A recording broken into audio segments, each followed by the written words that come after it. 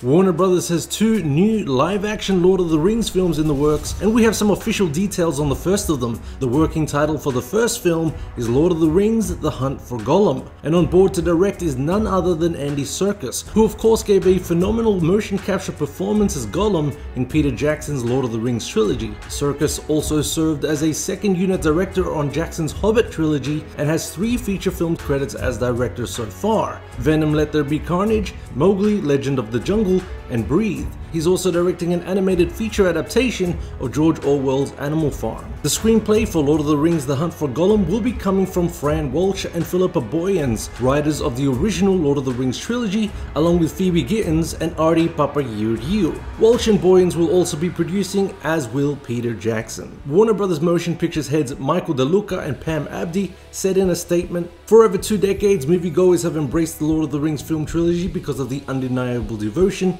Peter, Fran, and Philippa have shown towards protecting the legacy of Tolkien's works, and to ensure audiences could experience the incredible world he created in a way that honors his literary vision. We are honored that they have agreed to be our partners on these two films. With Andy coming aboard to direct Lord of the Rings The Hunt for Gollum, we continue an important commitment to excellence that is a true hallmark of how we all want to venture ahead and further contribute to the Lord of the Rings cinematic history. And in his statement, Andy Serkis had the following to say Yes, precious, the time has come once more to venture into the unknown with my dear friends, the extraordinary and incomparable guardians of Middle Earth, Peter, Fran, and Philippa, with Mike and Pam and the Warner Brothers team on the quest as well, alongside Weta and our filmmaking family in New Zealand it's just all too delicious. And added Jackson Boyens and Walsh, it is an honor and a privilege to travel back to Middle Earth with our good friend and collaborator Andy Serkis, who has unfinished business with that stinker, Gollum. As lifelong fans of Professor Tolkien's vast mythology, we are proud to be working with Mike DeLuca, Pam Abdy, and the entire team at Warner Brothers on another epic adventure. On a first quarter earnings conference call,